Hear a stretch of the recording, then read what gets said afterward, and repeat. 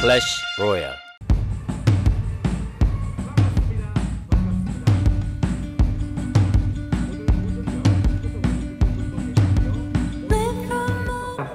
네, 안녕하세요. 허준호입니다. 반갑습니다. 그 저희가 덕혜옹주는 굉장히 추운 날 정말 그 배우분들이 정말 고생하면서 찍은 영화입니다. 아, 내일 개봉인데 덕혜옹주 많이 사랑해 주시고요. 주변에 많이 선전해 주십시오. 감사합니다. 박수 부탁드립니다.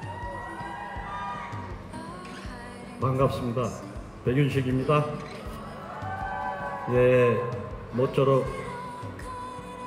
덕혜옹주 많은 관심을 가져주시고 사랑해 주시길 부탁드리겠습니다.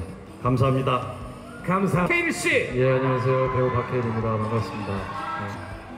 네. 이렇게 오랜만에 많은 관심 받는 영화에 참여하게 돼서 어, 너무 감개무량합니다. 와주셔서 감사합니다. 영화 재밌게 보세요.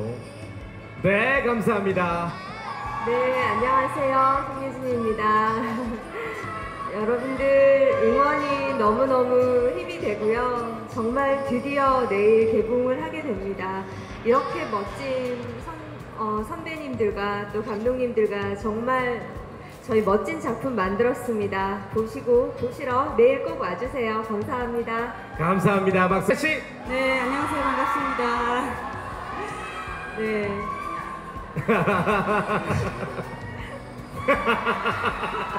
아, 즐거워요, 오늘. 예. 네, 예, 사실은 덕혜옹주가 참 가슴 아픈 이야기이긴 하지만요. 그 돌아가실 때 그래도 그 행복한 마음으로 돌아가셨으면 좋겠습니다. 그리고 또 많이 많이 다른 분의 손을 잡고 극장을 찾아주시면 감사하겠습니다. 감사합니다. 감사합니다. 네, 안녕하세요 정성호입니다. 예, 오랜만에 영화 찍었습니다. 예, 제가 어, 앞으로 칭따오로 남을지 아니면은 영화 배우로 남을지 여러분의 선택에 남아 있습니다. 잘 부탁드립니다. 네, 감사.